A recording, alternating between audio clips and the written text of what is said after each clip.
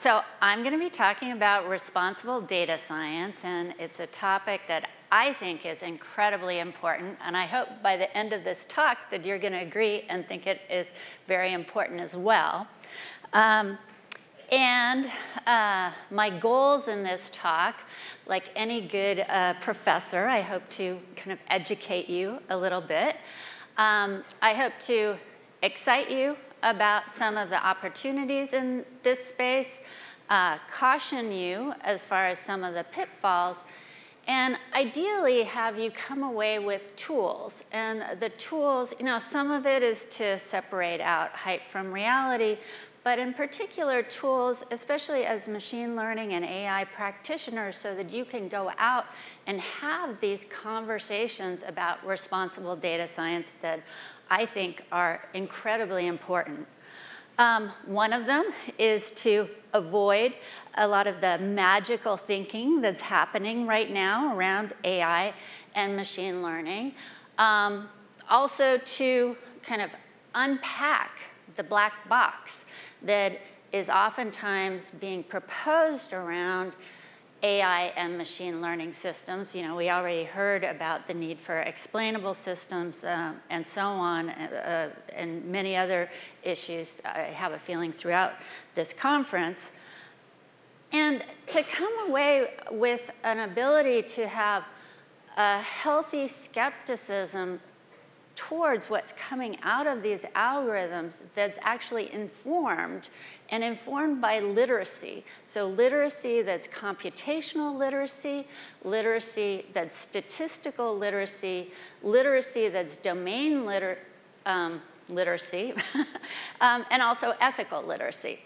And so one of the ways in which I'm going to be grounding this discussion throughout my talk is to think a little bit, uh, take a bigger view towards um, the machine learning and AI systems that we're developing and think of them as socio-technical systems. So socio-technical system is a term that comes from the um, science, technology, and society community. But you know, basically it just means people and technology interacting.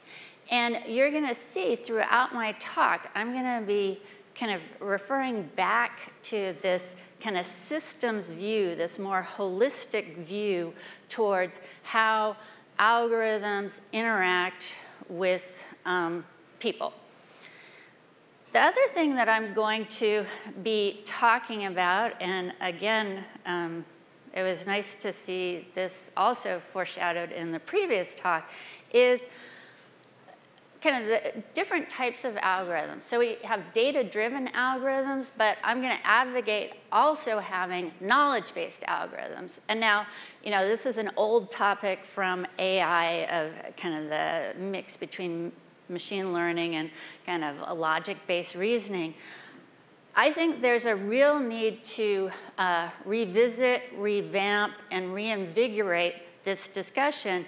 And responsible data science is particularly the place where um, kind of how do you take knowledge, domain knowledge? How do you take knowledge of how you want your systems to work? What kind of guarantees do you need? And um, develop algorithms that can support these. So in my talk, I have three different parts. So one of them is just going over the basics. And this is going to be very introductory, um, I think accessible to everyone. Uh, there's going to be a couple nuggets in there that are deceptively simple, but we've found over and over again when we employ data-driven algorithms that by making use of these little statistical uh, constraints or structural constraints, they can improve performance significantly. Then I'm going to go uh, in the next section of the talk, a little bit more technical, I'm going to talk about both some uh, theoretical uh, results and also some systems results. And then in the last third of the talk, I'm going to pop up and talk about cautions. And these are kind of a broad level cautions that I think all of us should be aware of when we're thinking about responsible data science. And throughout, I'm going to suggest that the key questions for you to have in mind are kind of how um, to use these techniques, uh, when, why, and why not. So for the basics, let me get started. Uh, again, thinking of these uh, socio-technical systems, they're complex, they're connected, they're heterogeneous. And from a machine learning perspective, there's structure. And there's structure in both the inputs to the algorithms, the um, streams and observations coming in, but also the outputs. Um, and so by the structure and the input, I just mean, you know, the data is multimodal. There's all kinds of different entities. There's all kinds of different relationships. It's spatiotemporal. There's just a rich heterogeneity of data that's being generated these days. Um, and how do we make use of it for, in the best and most responsible way for our data science um, and machine learning algorithms? By structure and the outputs, I really mean this general area of structured prediction from machine learning. So think of the classic examples. So there's natural language processing, computer vision, computational biology, where when you're um, making a prediction, um, the other predictions depend on it. So the, a simplest example from NLP is part of speech tagging. You know, the part of speech that I predict for one word um, informs the part of speech that makes sense to have for nearby words. Um, but I really like this um, quote actually by Dan Roth from UPenn. All interesting decisions are structured, so there's dependencies. Nonetheless, um, I think most of our machine learning algorithms take this nice, uh, richly structured uh, data, they then flatten it, they put it into a tabular form. That tabular form is then something that you feed into whatever your existing machine learning or statistical algorithm is. And the, one of the issues when you do this flattening, you're essentially making uh, independence assumption that for each row I can make its prediction independently. But the problem is that is an assumption and it's often incorrect, especially in these crazy complex socio-behavioral domains. Um, but also, the models aren't declarative. So usually when you're doing it, you do this kind of feature engineering that is what uh, computes the uh, columns that go into the table. And oftentimes that information is lost. And um, losing that information is uh, really problematic for the maintainability, the debugging, the interpretability of the model. But the last piece is it also doesn't support collective reasoning. And collective reasoning is exactly this kind of structured output um, uh, type of reasoning that I want to emphasize here. And so collective reasoning is rather than treating each prediction independently, how do we um, model the dependence? And oftentimes the way that this works really well is to kind of make some sort of local prediction, but then make use of the relational context to improve the quality of that uh, prediction.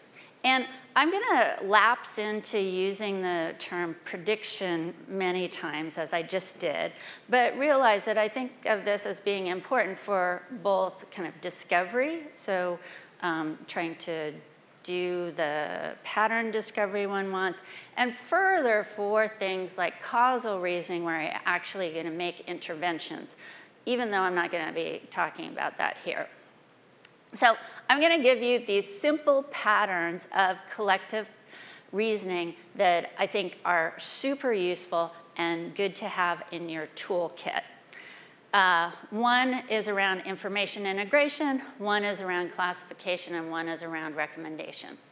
And the way that I'm going to be representing these is using um, logical rules.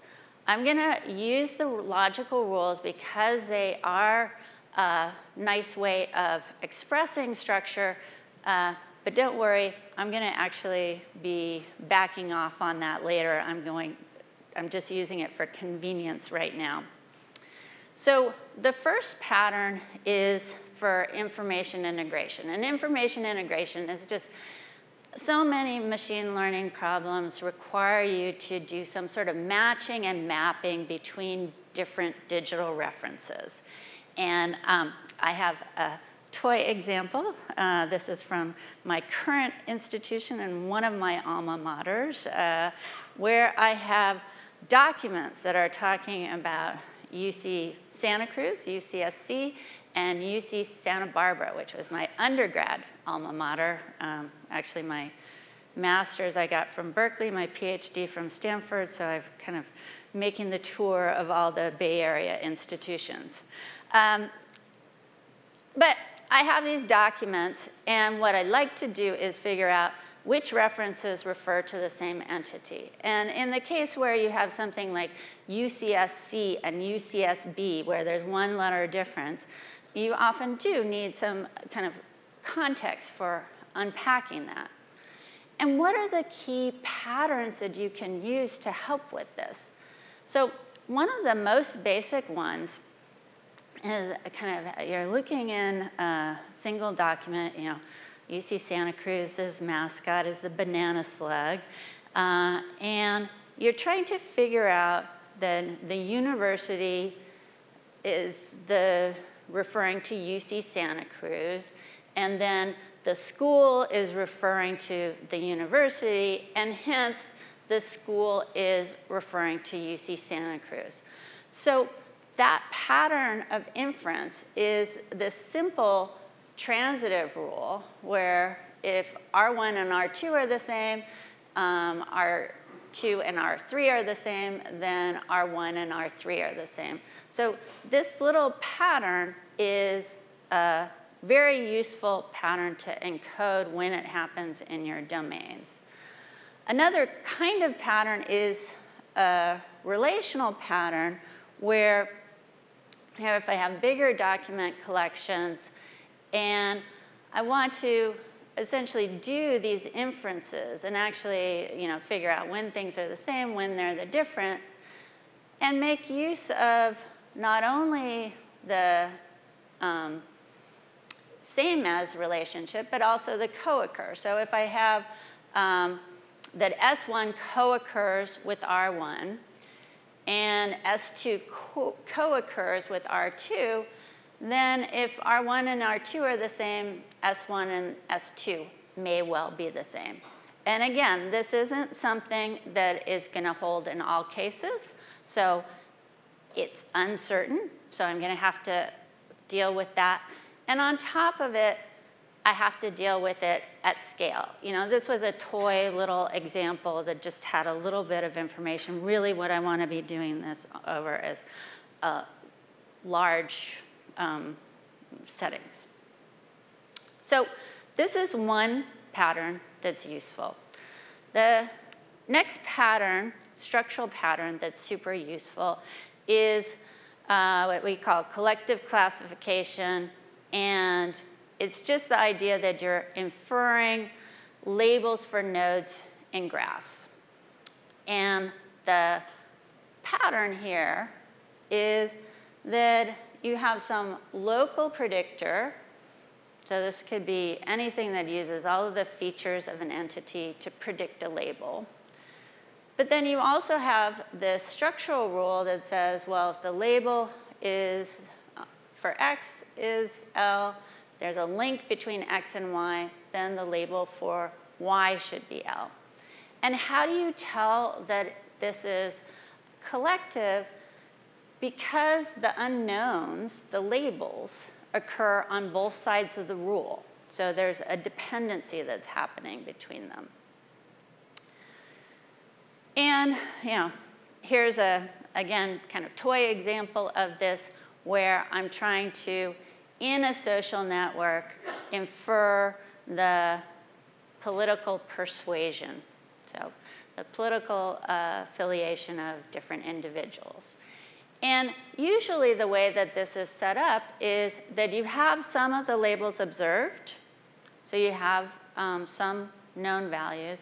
And then you have some set that are unobserved and you're trying to get a joint distribution for these. Now, how do I make use of um, these structural patterns? Well, I can use local information, simple things like, well, if X donates to a party, then they're likely to vote for that party. If they tweet about some phrase that has a particular uh, association, they're associated with that party. But the structural information, that link pattern, would be something like, you know, if X votes for a party, Y is friends with X, then Y will vote for that party, um, if they're spouses, then they're likely to vote for that party. And again, I'm going to back off on these being logical rules, but these are just patterns that may hold in the data that I may want to be able to learn.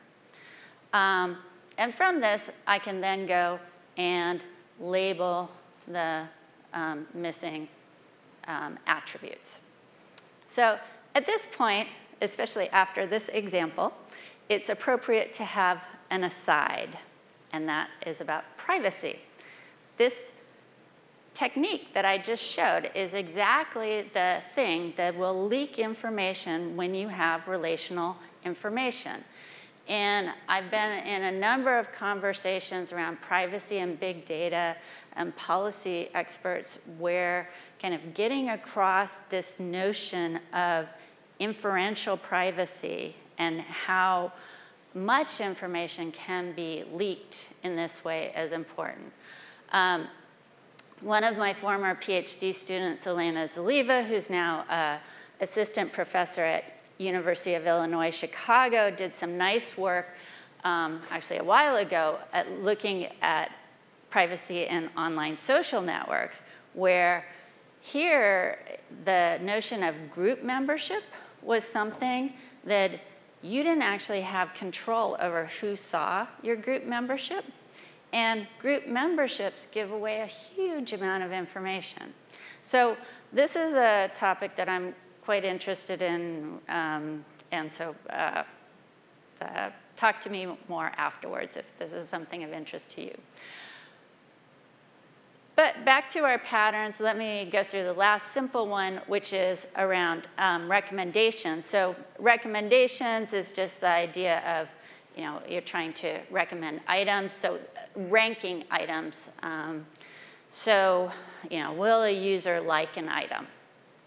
Well, what are the basic patterns here? I think all of you will be familiar with these.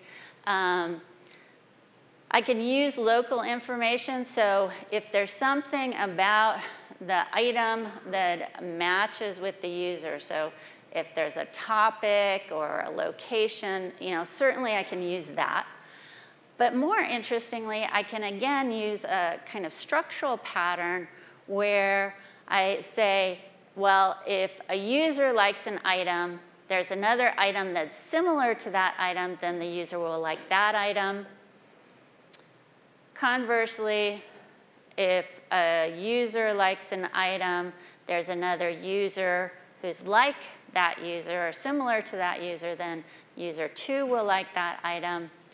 And this is um, part of the foundation that goes into uh, doing uh, collaborative filtering, other styles of uh, hybrid recommender systems, combining all of these things together. What is the challenge? Um, well, you probably were already thinking this, which is where did you get that similarity measure? You know, that's the heart of this. And one of the things in the methods that I'm going to propose is they're very nice for, you know, I have, you know, a bunch of different similarity measures. I can just throw them in, and then I can um, uh, combine them together in a reasonable way and um, uh, learn which ones are important.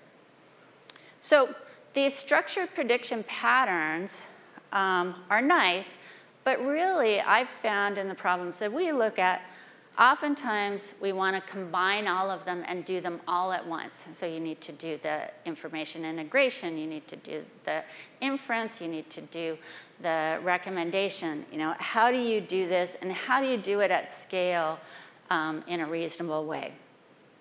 So at this point, I want to go into a research method that addresses these challenges, and in particular, it addresses the challenge of modeling the relational structure, um, dealing with these heterogeneous um, interdependencies, and deals with noise and uncertainty.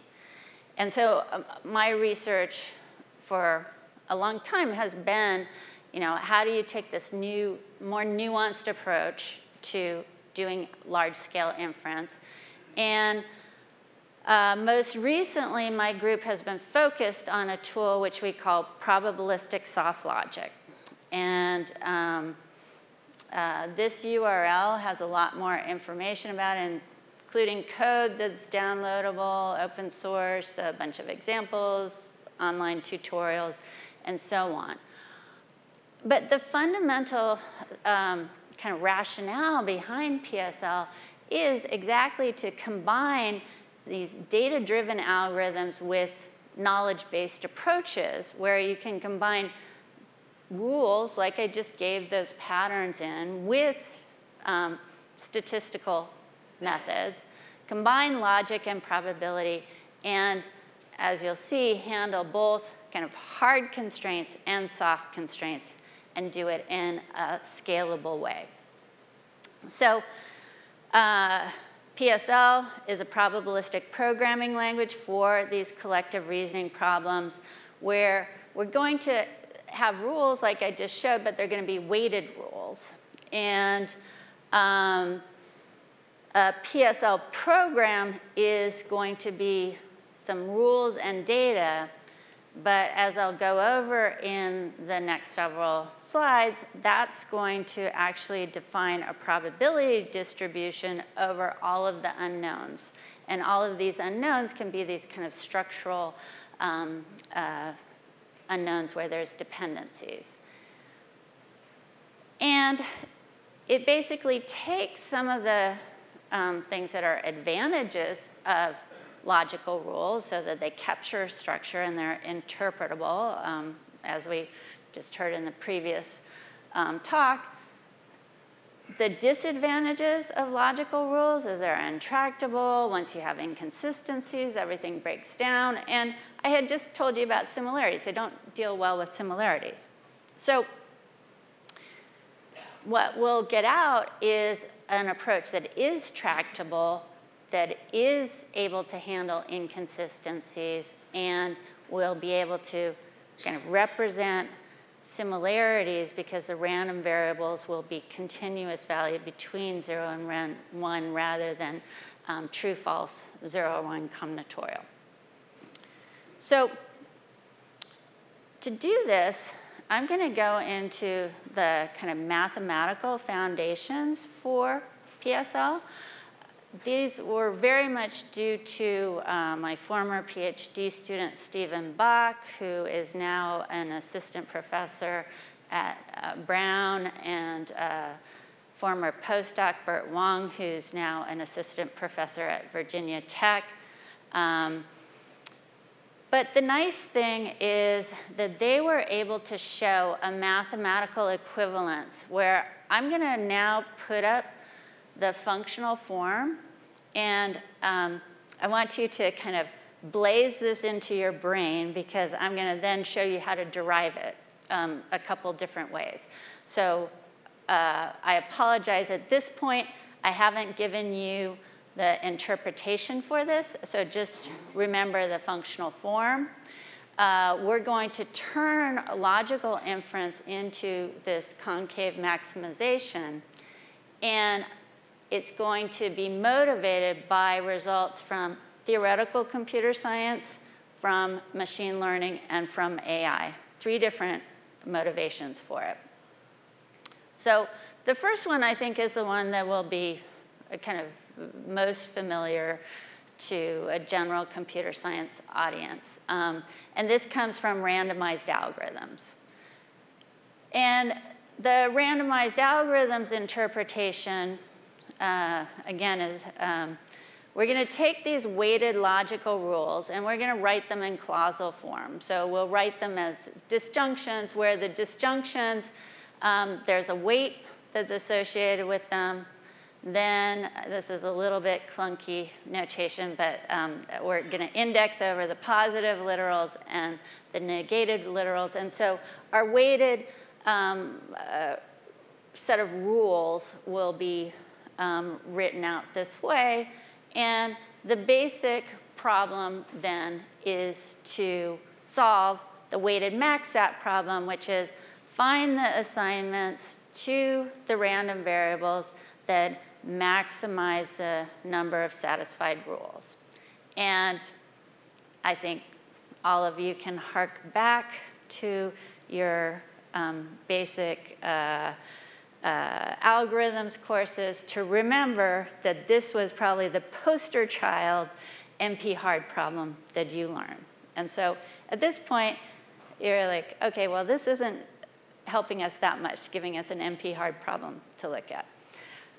But now we're going to make use of uh, work from randomized algorithms where instead of viewing these as combinatorial variables, we're going to view them as rounding um, probabilities. So the probability that I round up to one or down to zero.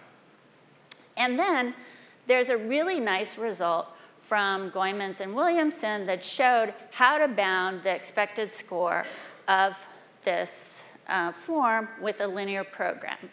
And the nice thing about it is they also were able to show a three quarters optimal um, guarantee on a greedy approach for doing the assignment. So that's nice. That is one way where if you were paying attention to me, you look, this is the functional form that I gave you a few slides ago. So that's uh, where that concave maximization comes from. Now, a second interpretation comes from the machine learning community from graphical models. And here, I'm writing the weighted rules in a different way where I have a factor graph, I have random variables, and then I have my rules. And now I'm going to do something kind of funky. I'm going to view the rules as potential functions, but they're weird potential functions. They're just these logical things that, um, uh, rather than a general potential function. And I can write out a distribution for this uh, which would be kind of the standard MRF form for uh, this kind of factor graph where it's um, the distribution's proportional to the weighted sum of these potentials. So this is just a generalization of the weighted maxsat from before. And again, the inference problem that I want to solve is one that maximizes the um, exponent here. So I'm trying to find the assignment that maximizes this.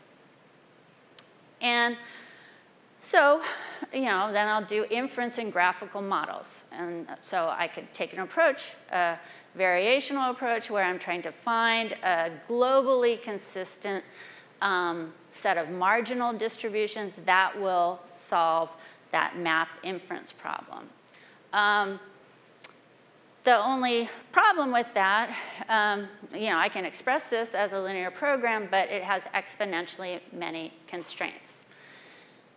So there's a long line of work uh, in local consistency relaxations for um, uh, graphical models that basically uh, solve the problem by ignoring some of the constraints and just looking at local um, consistency. We're going to do a similar thing where we take these marginal distributions, we're going to add in these pseudo-marginals. We'll just ensure consistency here. Then we can write the map problem in this format. Just now it's over this polytope, rather a simpler polytope. And then what Steve and Bert were able to do is to do some rewriting, making use of the KKT conditions to you know, get rid of theta and project it over the marginals and get out this form. And again, if you look at this form, this form has exactly the same functional form as before. So that was cool. They compared it to um, other approaches and showed some nice empirical results too. The cool thing about this result is this approximation guarantee from the weighted MaxSat, we could then apply to the LCR, and this is something that that community never had. They had all these kind of techniques without these guarantees. The third interpretation that we used was from AI, from some um, area of soft logic, which is to directly reason about these random variables as continuous values. And uh, in this community, they view them as either degree of truth or um, as similarities. And there's different ways of doing this. We chose purposely this Lukasiewicz logic because it will result in a convex optimization. And in particular, the convex optimization, the objective looks like this. And now I'm actually going to give you some intuition for why um, you interpret it this way. Um, this is essentially the degree of satisfaction of each of the rules. And what I want to do is minimize the dissatisfaction of all of the rules. And again, we get the same form. So the cool thing we've been able to do is kind of show that these three different interpretations all lead to the same optimization. Um, and, you know, I don't know about you, but I think it's really cool when under three different interpretations you end up with the same uh, mathematical form. I, I, think that that's um, showing there's something uh, very nice there again, I think there's still tons of work to be done here. Uh, so uh, uh, this is one way where you get to combining um, data and knowledge uh, in an interesting way. We ended up going further and extending this to something that we refer to as hinge loss Markov random fields, where we abstract things a little bit more um, we add arbitrary hard linear constraints and get um, this general form. But practically, what does it look like? We can write a PSL program. So this PSL program is exactly the one for that voter problem that I gave earlier. And this um, program, together with some data, then defines a probability distribution. So, cool. Um, and we've gone from something that's a combinatorial optimization to convex. You know, that's good. There's further systems things that we can do to really get this to scale. And I want to call out my current PhD student, Eric Augustine, who's been doing some really awesome systems work. I'm going to kind of breeze through this. But um, to scale inference further, it turns out there's a lot of fine-grained parallelism in these large models that we're producing with PSL programs. And so you can make use of that to decompose the optimization problem.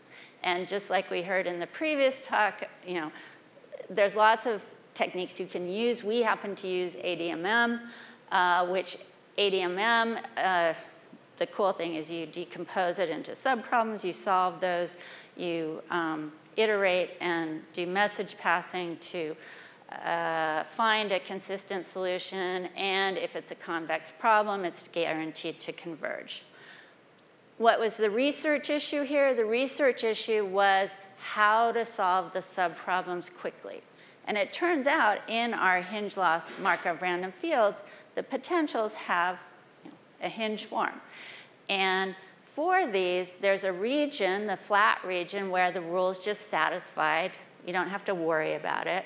there is an angled region where it's not satisfied.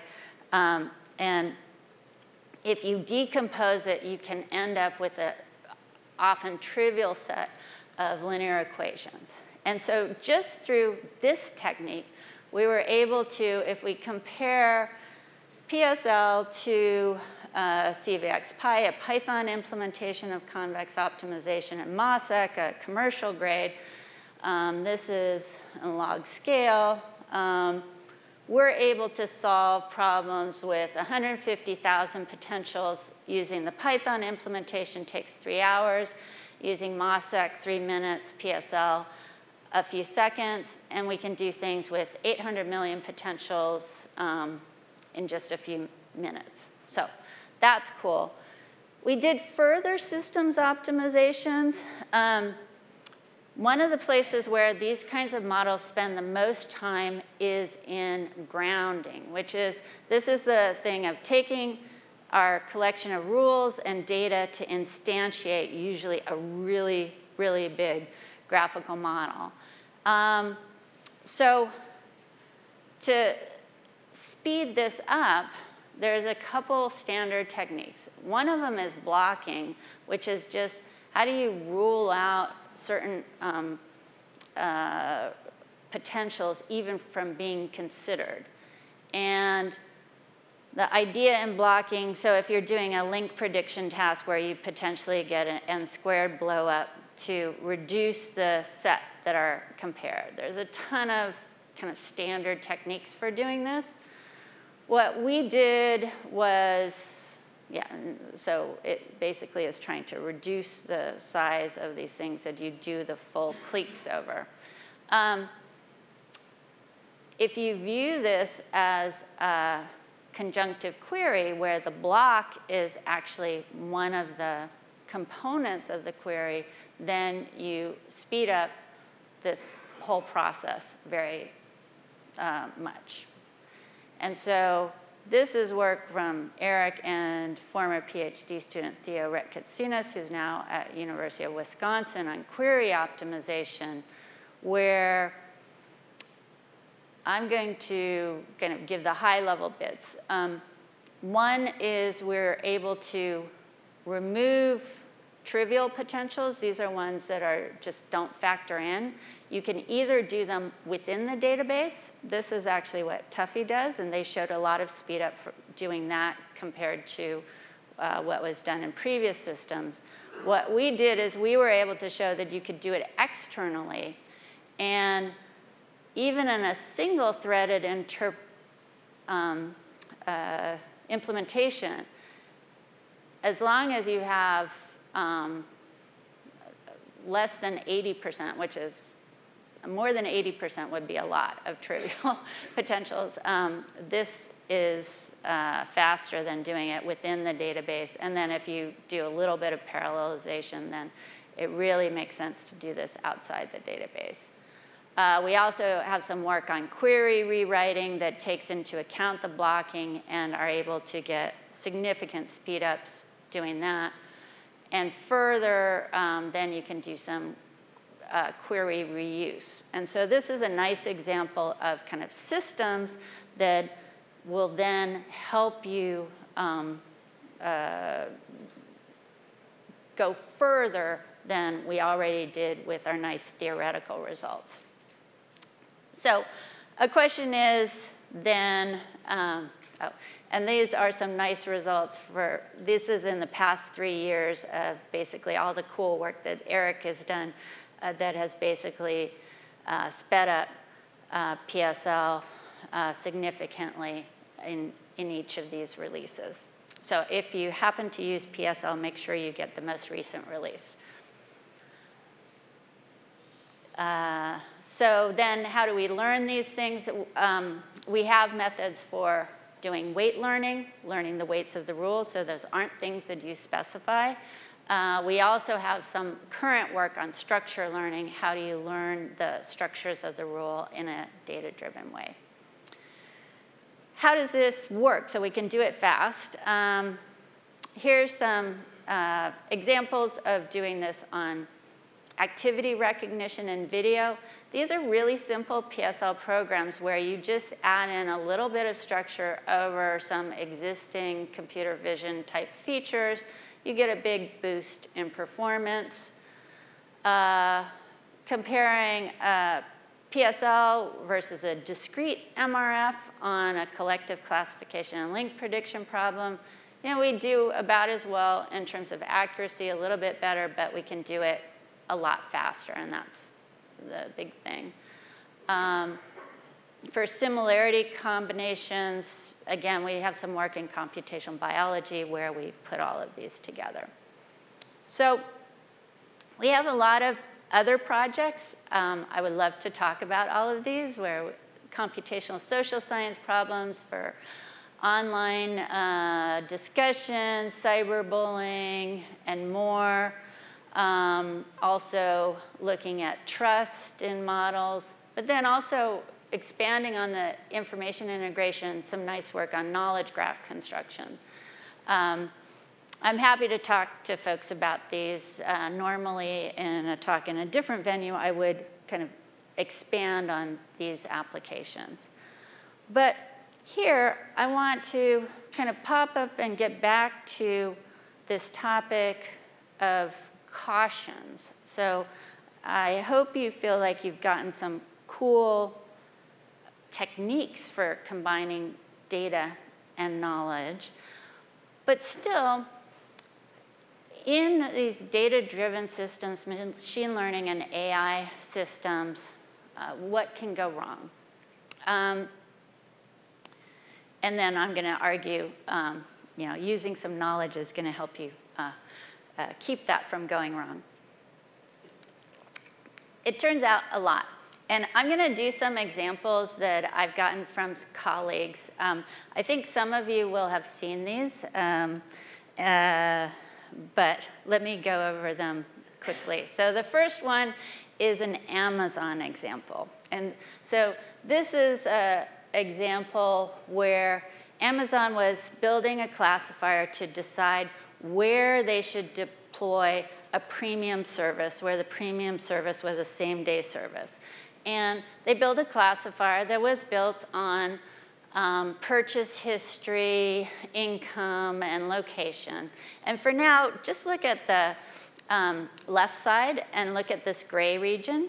This is the region that did get the premium service. And this is Atlanta. It turns out the northern part of Atlanta got the service. This is Chicago. Everybody except the south side got the service. And this is Boston. Everybody except for people in Roxbury got the service. So, and then if you go back and look at the other side of the slide, you see what's true of those areas. Those areas that didn't get the service were predominantly African American. And so while race wasn't explicitly used in the classifier, you know, not surprisingly, if you use those attributes, guess what?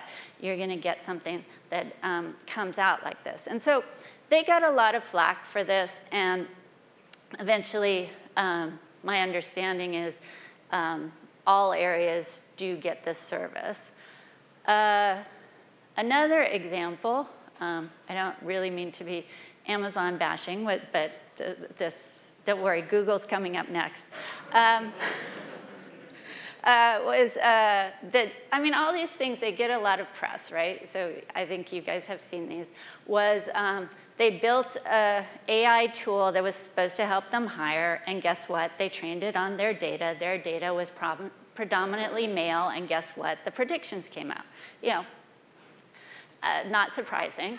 Um, Google examples, um, uh, there's a bunch of different ones.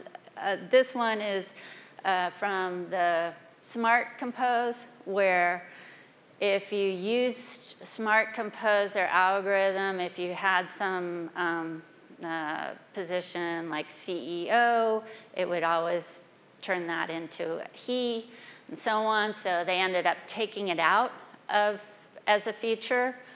Um, a similar uh, example in Google Translate, if you take a gendered language like English, she is a doctor, he is a nurse, um, translate it into Turkish, which isn't gendered, translate it back into English, you get he is a doctor, she is a nurse.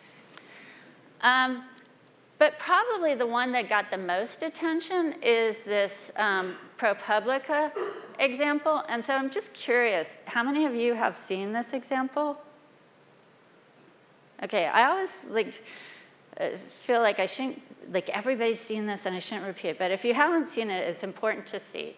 Um, so there is a system that's built, that is used throughout the criminal justice system. So it's used in sentencing, it's used in bail, and so on, uh, where um, they make use of you know, some um, large set of features to predict uh, recidivism risk.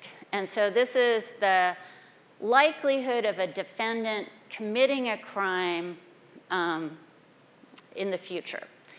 And what ProPublica did is they studied a specific county and were able to show that uh, the um, false positive rate was twice as high for African Americans, and the false negative rate was twice as high for Caucasian um, defendants. And so it over predicts recidivism for African Americans and under predicts recidivism for whites. And so on all of these, you know, what went wrong? Well, as machine learning researchers, we probably are quick to say that, okay, if you have biased data coming in, where the biased data is either due to selection bias or through kind of some sort of institutional bias or societal bias, then no surprise, you're going to get outputs that are biased. And so this is the famous um, computer science uh, maxim, you know, garbage in, garbage out. Uh, but it's interesting to think about kind of what other biases are an issue uh, potentially. And one of them that's important to think about is automation bias. And automation bias is the idea that you know, humans have this way of, you know, well, you know, the algorithm told me this, so you know, they trust the output of algorithms in a way um, uh, that maybe um, causes them to ignore contradictory information and actually, in the case of the recidivism algorithm, it was actually even worse than that. If a judge went against the recommendation from the algorithm, then at least in some states, they actually had to write a report saying why they disagreed with it. And so you can imagine that having that extra burden um, would have additional uh, uh, bad effects. And all of this goes into um, this area, kind of algorithmic discrimination. The idea that algorithms can amplify existing bias in the data. They can actually operationalize it at scale in a way that would have been hard to do in the past. And they can legitimize it because, again, it was like well, you know, this fancy machine learning algorithm told me this, you know, I can't go against that. So the good news is this is receiving increasing attention. Um, so this whole area of fairness in machine learning, this is a slide from Solon Barocas and Moritz Hardt from a tutorial they gave, has gone up exponentially. Uh, there have been a number of workshops that look at fairness, accountability, transparency in machine learning systems. And there's a new conference, ACM conference. And this conference is specifically designed to bring together researchers from um, machine learning, but also from social sciences and so on to even talk about, you know, what does fairness mean. Um, interestingly enough, there has also been some criticism of this line of work. So um, uh, some of the science, technology, and society folks are kind of like, you know, you're just um, putting in these mathematical interpretations, but not really getting at the, the complexities of the issues.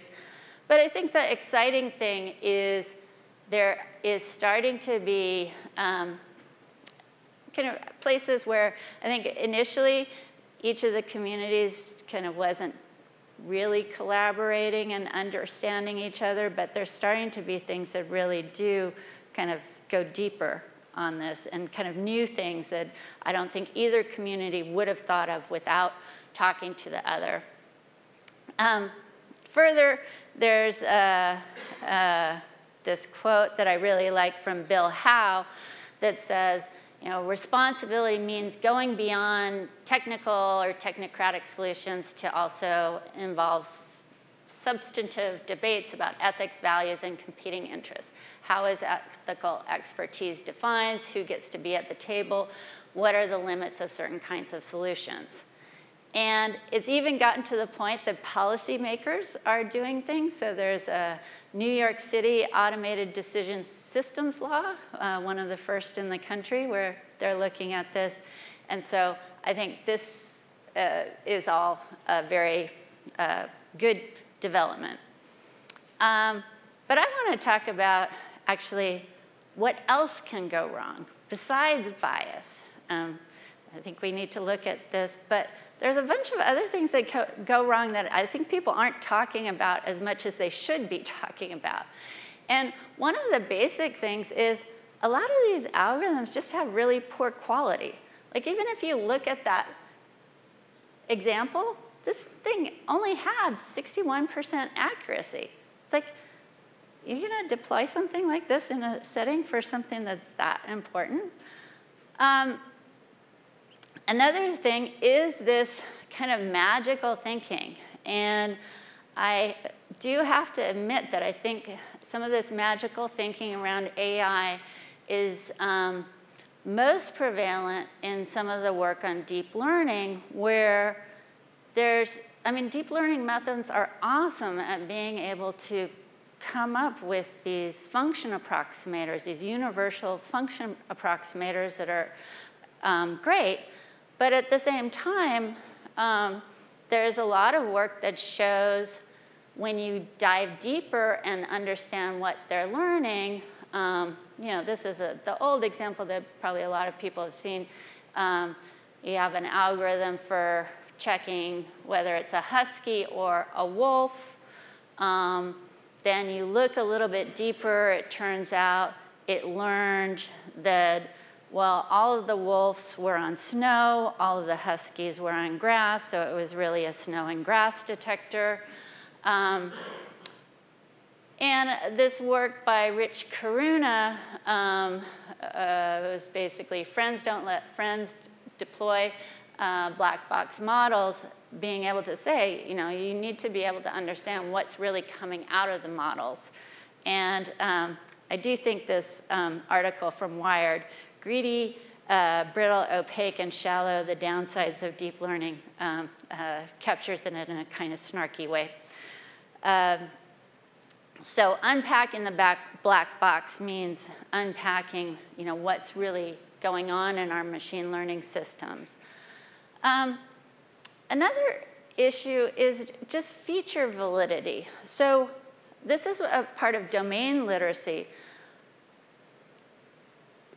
This example is an example of a deep learning algorithm that was lear learned to predict criminality based on facial characteristics.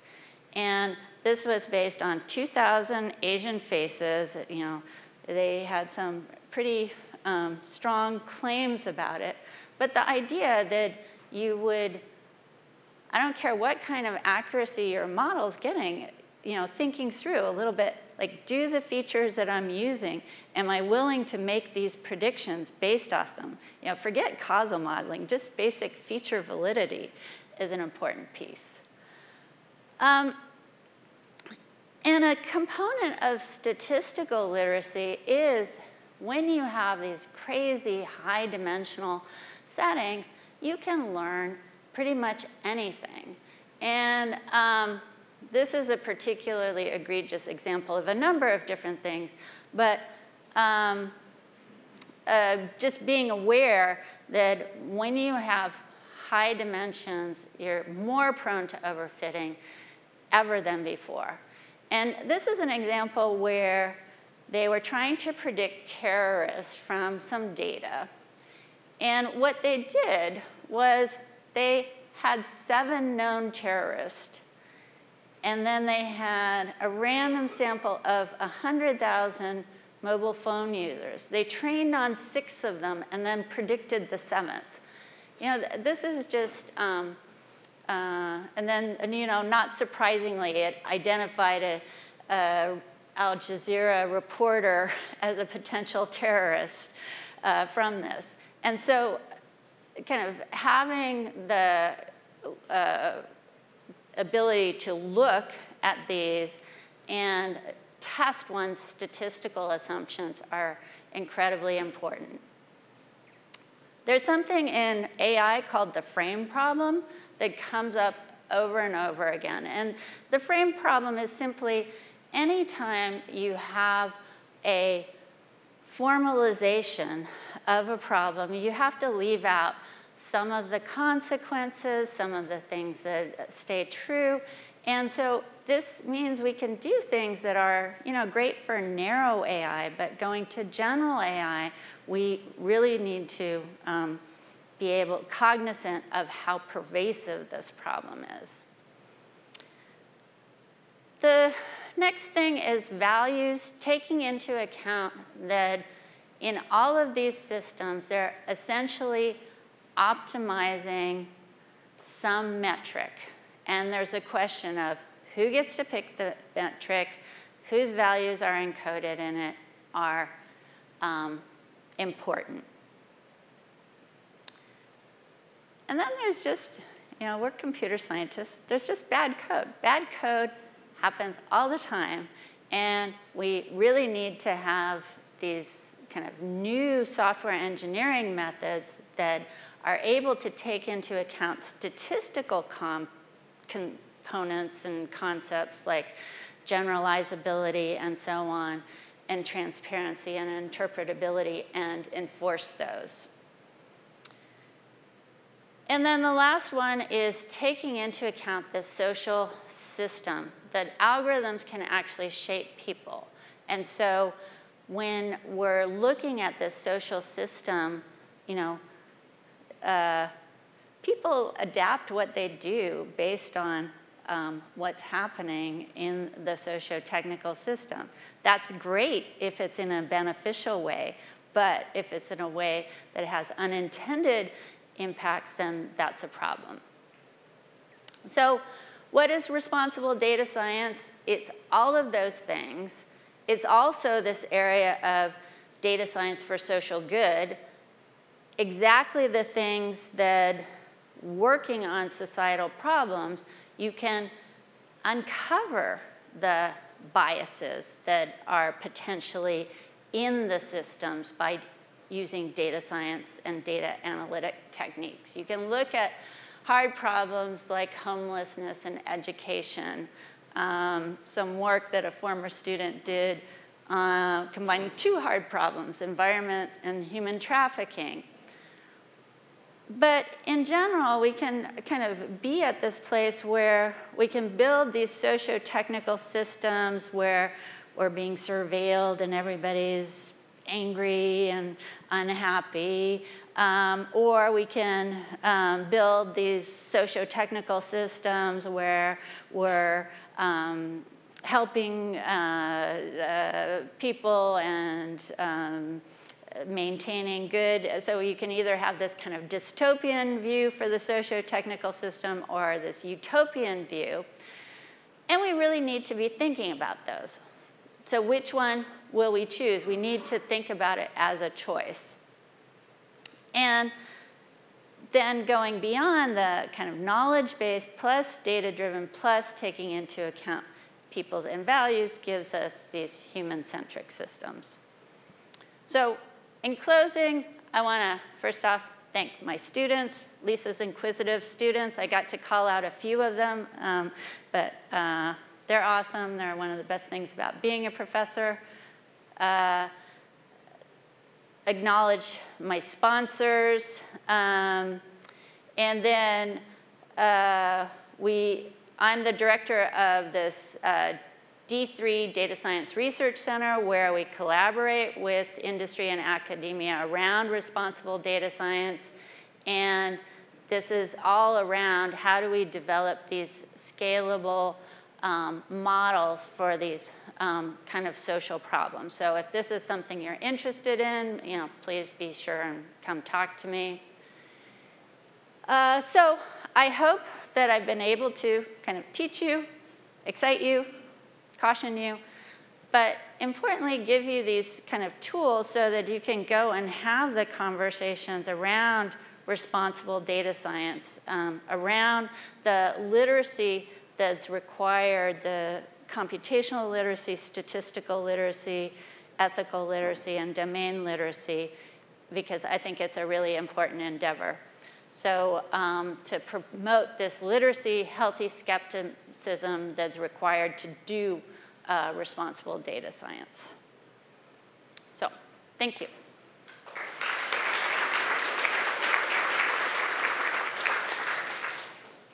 Lise, we have time for, uh, for a few questions. The microphones are in the aisles.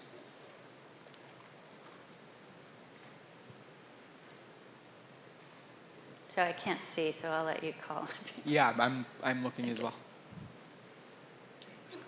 O over there.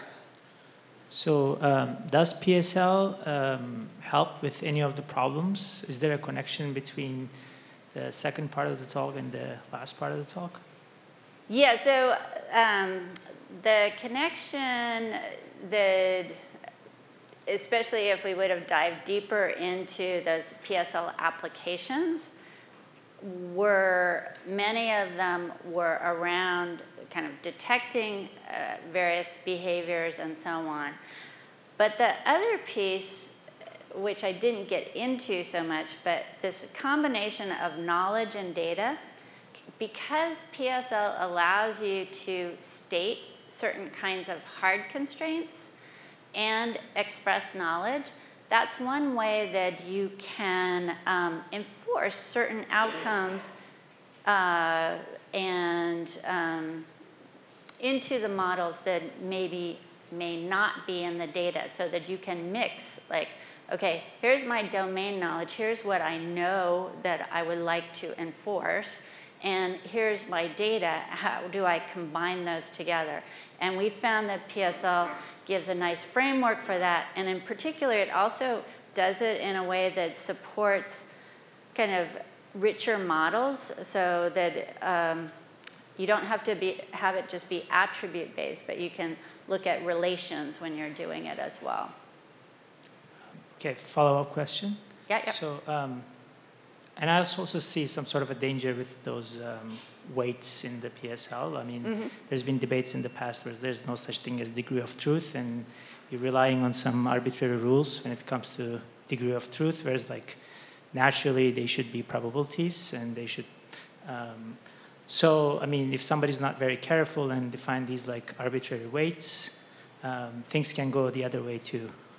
Yeah, so uh, I guess there's a couple different um, um, things that that brings up. So one is um, the semantics of PSL are very interesting because on the one hand, some of it is motivated from soft logic, but then it actually does have a probabilistic interpretation. So if you are someone that are, is interested in, you know, what's the probabilistic interpretation, there is a probabilistic interpretation. The other piece is that the weights can be learned from data. So it's not that you just put them in. Um, so you have to decide when is it that you, uh, do you want to learn them from data? When is it appropriate for you to kind of enforce them from the outside? But then the other thing that I hope, you know, maybe I didn't explicitly state it, uh, but maybe you can see from the take that I have towards machine learning and data science, I view it as a tool that, you know, you want to do it as a discovery process. It's uh, something where you, you know, do several models, you compare what you get out of them, and so on. And then where you have the appropriate statistical framework, then you can go back and do additional testing. And that's going to be very um, problem dependent. Thank you. All right, let's thank Lise one more time.